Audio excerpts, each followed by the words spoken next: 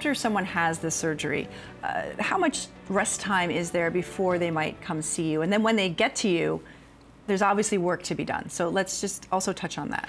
So I have a lot of experience with uh, total knee replacements. Um, it's one of actually one of my passions. Um, I work a lot with um, at our clinic with total knee replacements, and, and we have a good um, working relationship with our group of, of physicians. Um, so usually the, the way the process works, um, patients will, will have surgery and they'll have the replacement. They'll usually actually be sent home the same day from the hospital. Wow. and usually they're in to see me within a couple of days. Okay. Okay. The, the, the idea uh, behind that is we want to get the patient um, into physical therapy or skilled uh, rehab as quickly as possible to right. get moving as quickly as possible.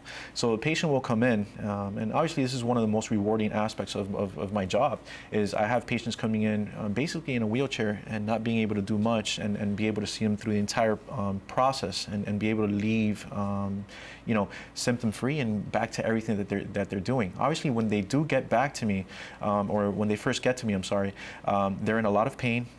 they're not sure. really able to move the knee.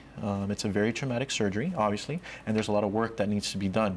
Um, it's a tedious um, kind of process, um, but yeah. I, I, assure you know patients out there that are, that are uh, having issues with arthritis, the outcomes um, are very, very, very good these days, um, and patients are able to get back to, to all the things that they'd like to get back to.